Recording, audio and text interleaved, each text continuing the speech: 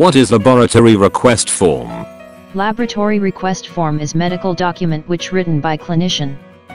So it consists with patient identification such as name, gender, ward number, reference number.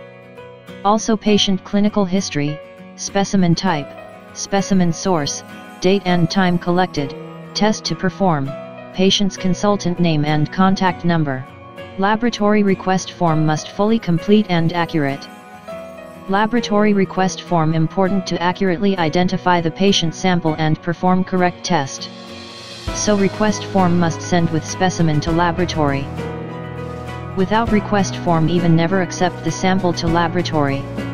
Request form style can change according to country, hospital, clinician and requested test. But main details in the request form never change, details in request form must match with label details.